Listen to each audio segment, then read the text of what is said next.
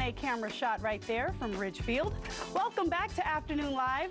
Well, it's a topic that most couples feel too sensitive about to discuss sex. Yep, we're going there. And our next guest says, with a little patience and tenderness, you'll be able to express yourself and motivate your partner all in one fell swoop. So, here with more tips for opening up sexually with our partners, we welcome back sex coach Kristine D'Angelo is with us. I almost Hello. had your, I almost had I your, know. I forgot that you got married, and I almost had your name wrong, but I got it. That's the married name now. Yes, I still you. do it. It's weird. It's weird to say it out loud. Yes. Isn't it though? Like, Yes. yeah, it takes a while to get the new name going. Yes. But um, let's talk about sex, Let's baby. talk about sex, baby. we can't sing too much of the song, otherwise we have to pay for it. Oh, okay, I don't can't afford that. Yeah. No, no, no. Haven't got the Christmas bonus yet. so let's talk though, seriously. Um, this is a topic that a lot of people are really sensitive about, even Yes. with the person that they're hoping or having sex with. Why is that? yeah. It, what you're doing is you're asking your partner to be vulnerable, and that's scary because there's the unknown. So, when you're asking your partner to open up to you sexually, what you're really asking for is more intimacy, right? Right. You're asking for a deeper connection. Um, so, when you take vulnerability and meet that with a loving response, you get intimacy. So, I'm here to give you tips on how to kind of, um, kind of curate that vulnerability in your relationship so that your partner feels safe to open up to you. Okay, so now before we get into the tips, I just want some clarity. Are we Yeah. talking about opening up after you've already had a sexual experience with your partner, or is this the initial, like, I'm going in?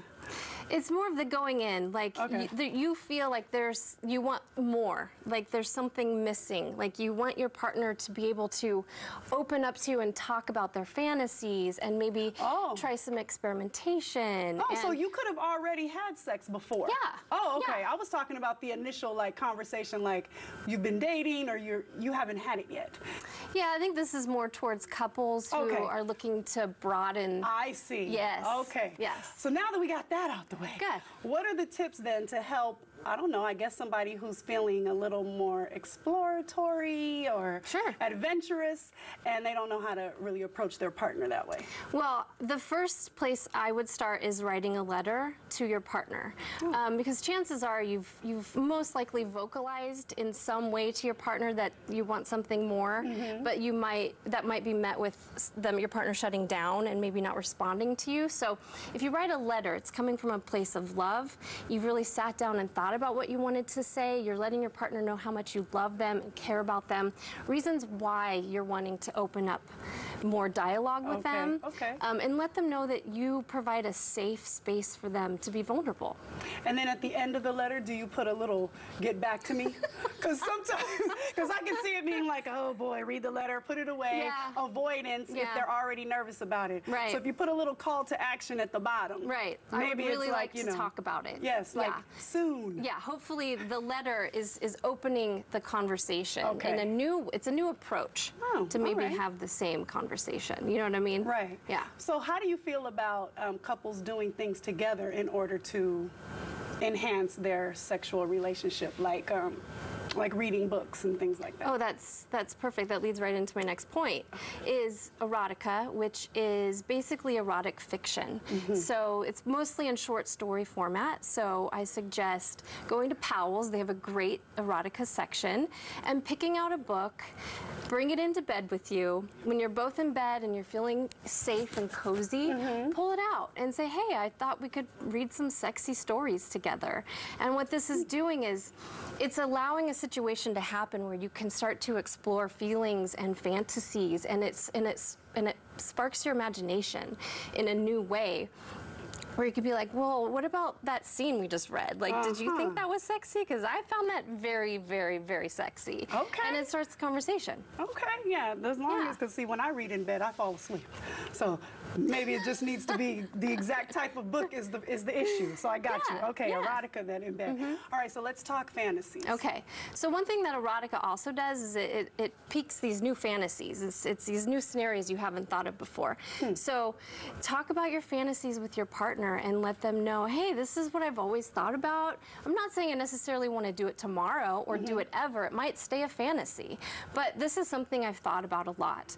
And go first. So your partner partner feels safe to go next. What do you mean go first? You mean ex- Tell- tell your fantasy oh, Oh, first. okay. I Yeah. say, is this a solo situation? No, no. I'm so confused. Okay. Yeah, so right. you start with, hey, I'd like to share a fantasy with you, and then share your fantasy, and then be like, well, have you ever thought about something you want to share? You know, and, and Yeah. start it that way so your partner's like, it's kind of like, um, you know, lead by example. Okay, Yeah. okay, but what if your partner says something that scares you?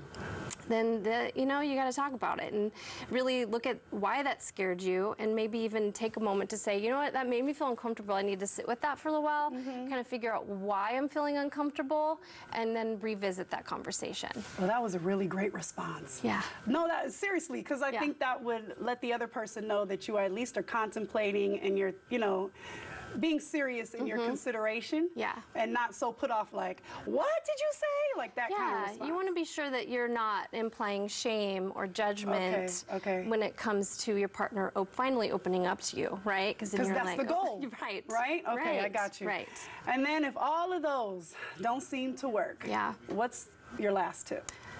it's time to hire a sex coach There really are sex coaches. yeah that's what i am I mean, I know, but as I'm talking to you, I don't know what I envision. I mean, what what what do sex coaches really do? Really? Well, I have a talk only practice, so Okay. people come to me when they want to explore their the sexual side of themselves because they've never done it, they don't know how to do it, it's scary, um, and so a lot of times it's breaking down that shame, that guilt that comes with sexuality in our society. So what your partner might need is someone to really guide them through that exploration of that side of themselves, because it's scary. What's on the other side of that is unknown. Right. So I really provide a safe and confidential space for them to do that. No, that's good. Yeah. This is good stuff because I know people are, you know, sometimes they struggle. They do. And there's help. There is help. Thank you so much. Thank you. Always a great conversation. We're going to have more information about today's topic and about Kristine for you on our website at katu.com.